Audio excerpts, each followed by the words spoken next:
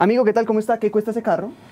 Ese carro, ese carro está en 120 millones, es modelo 2017, tiene todo, aire acondicionado, vidrios oscuros, seguro, todo al día. ¿Le interesa? Amigo, ¿y uno más económico tiene? Ah, uno más económico, mire, está Ah. ese, es modelo 2008, eh, tiene también aire acondicionado, vidrios oscuros, lo que pasa es el modelo, obviamente. Entonces, no sé, usted me dirá Amigo, ¿y yo le puedo dejar el viejo en parte de pago? Que si puede dejar el viejo en parte de pago, sí, aquí le recibo el viejo en parte de Ah, pago. genial, papá.